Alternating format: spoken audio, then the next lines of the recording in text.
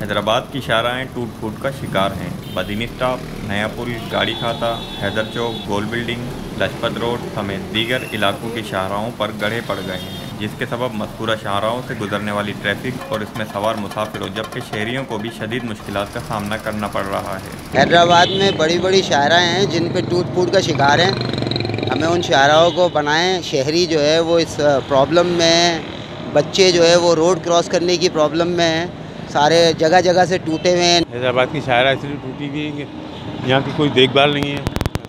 एक एक टप्पा एक एक गली जहाँ आप गुजरे वहाँ आपको हर चीज़ टूटी हुई मिलेगी। सिंध का दूसरा नंबर बड़ा शहर है और उसके रोडों की हालत आप देखो क्या लगी पड़ी है।